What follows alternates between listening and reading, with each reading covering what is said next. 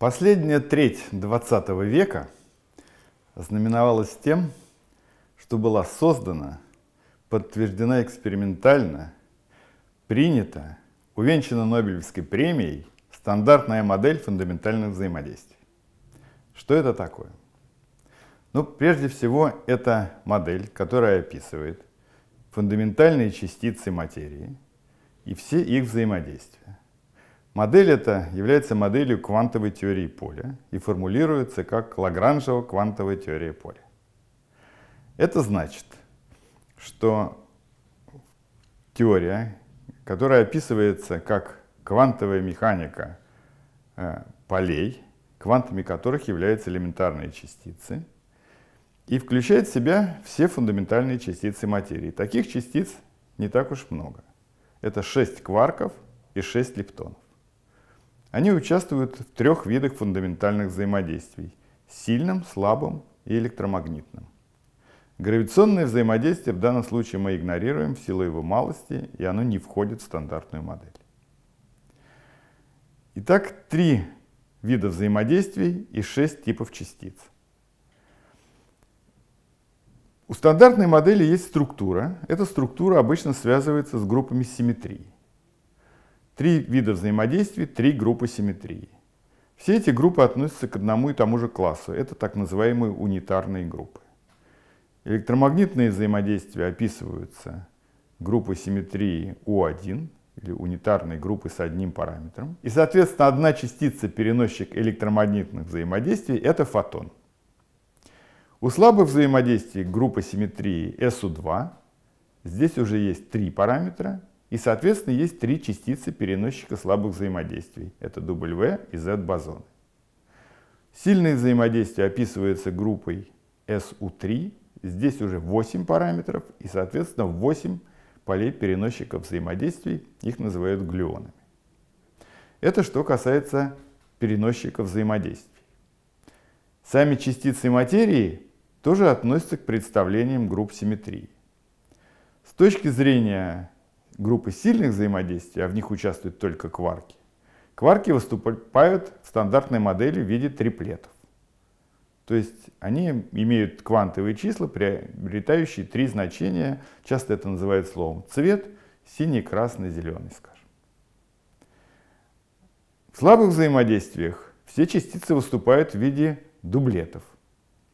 Это тоже представление, низшее представление группы симметрии слабых взаимодействий у нас существуют верхние и нижние кварки, электрон и нейтрино. Вот примеры двух дублетов. Интересно, что кварки и лептоны повторяют друг друга. Это называется поколениями. Есть первое поколение, второе поколение и третье поколение стандартной модели. Вообще говоря, не очень даже понятно, почему природа выбрала три поколения. Есть первое поколение частиц, из которых состоит весь наблюдаемый мир, есть копия, второе поколение и есть третья копия, это третье поколение. В стандартную модель входят три поколения. Эти частицы являются фундаментальными в том смысле, что мы не видим никакой структуры в этих частицах. Вообще-то говоря, абсолютно утверждение сделать нельзя, поскольку Раньше, скажем, протон тоже казался частицей без структуры, а потом эта структура была обнаружена. Поэтому нельзя сказать, что те частицы, которые мы сейчас считаем бесструктурными, являются такими навсегда. Возможно, в будущем что-то нам приоткроется, что сейчас неизвестно. Но на сегодняшний день те частицы, которые составляют стандартную модель, являются бесструктурными частицами, точными частицами. Это кварки и лептоны, как я уже говорил, они представляются как точные частицы в стандартной модели. Если мы хотим описать какой-то процесс, происходящий в природе, как правило, в них участвуют не сами кварки, а частицы, составленные из кварков, то есть адроны. Лептоны же, электрон, мион, таон, по-прежнему наблюдаются в виде свободных частиц или взаимодействующих частиц в природе – Поэтому процессы, которые описываются с лептонами, они непосредственно описываются стандартной моделью. С адронами опосредованно, как я уже сказал. Но, тем не менее, так или иначе, любые взаимодействия и любые превращения, которые мы наблюдаем в природе, как на малых расстояниях, так и на больших расстояниях, описываются стандартной моделью. В этом смысле стандартная модель венчает собой все здание физики элементарных частиц и в неком смысле все здание фундаментальной физики, поскольку описывает самые фундаментальные законы природы, которые известны на сегодняшний день. Какими же свойствами обладают частицы, входящие в стандартную модель? Ну, прежде всего, мы привыкли описывать квантовый мир с помощью так называемых квантовых чисел. Примером квантового числа является электрический заряд. Электрический заряд – это характеристика частицы, которая нам понятна. Э, частицы бывают положительно заряженные, отрицательно заряженные, вовсе не заряженные. И электрический заряд – это на самом деле квантовое число, которое сохраняется в природе. Сохранение электрического заряда в стандартной модели описывается соответствующей группой симметрии. Из симметрии теории следует сохранение электрического заряда. Но это не единственная характеристика частиц, поскольку, как известно, в стандартной модели есть три группы симметрии. Сильные взаимодействия описывают цветные объекты. Цвет, конечно, понятие условное. Просто квантовое число, которое приобретает три значения, удобно обозначать цвет для наглядности. Так вот, цветной заряд тоже обладает группой симметрии и тоже сохраняющаяся величина цветной заряд кварков сохраняется.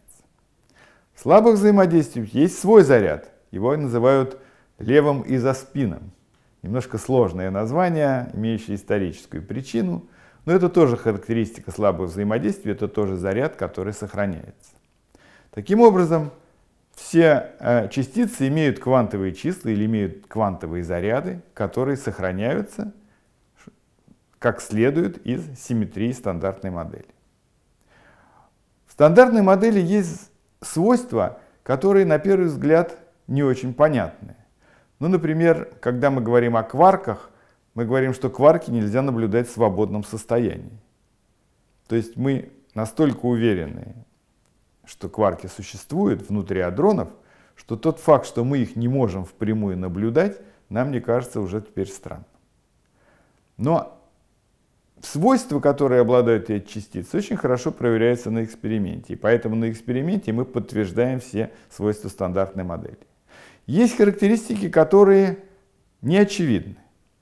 Ну, например, стандартная модель описывает массы частиц, и она описывает переходы одни, с одного сорта частиц в другие, при этом сохраняя нужные симметрии.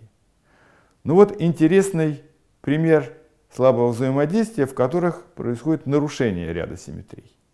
Ну, в частности, нарушение пространственной четности или нарушение зарядового сопряжения, когда частица заменяется на античастицу. Что еще входит в стандартную модель? Помимо кварков и лептонов, в стандартную модель входит Хиггсовский бозон. Хиггсовский бозон возник в теории по той причине, что понадобилось найти механизм, который дал массу бы всем частицам стандартной модели. Это было достигнуто путем спонтанного нарушения симметрии, путем введения в теорию дополнительного поля скалярного, то есть обладающего спином 0, который получил название Хиггсовский бозон. Тем самым полный состав полей стандартной модели состоит из шести кварков, шести лептонов, одного Хиггсовского бозона и переносчиков всех трех видов взаимодействия. Все эти частицы экспериментально открыты. Последней открытой частицей был Хиггсовский бозон, который был открыт 2012 году. Все остальные были открыты еще в 20 веке. Последним была открыта нейтрино, которая называется таонная нейтрино, третья нейтрино, но была открыта в 2000 году. Тем самым 20 век завершил стандартную модель, за исключением Хиггсского бозона, и все частицы экспериментально подтверждены. Возникает вопрос, заканчивается ли на этом история, или, может быть, есть еще какие-то частицы, которые не вошли пока в стандартную модель, но должны туда будут войти, или, может быть, существует что-то совсем другое, которое не описывается стандартной моделью. На все эти вопросы есть различные ответы, истины мы пока не знаем. Ну, прежде всего, если говорить о новых частицах, типа новых кварков и новых лептонов, которые еще не открыты. Как я уже сказал, в стандартной модели есть три поколения этих частиц. Спрашивается, есть ли четвертое поколение?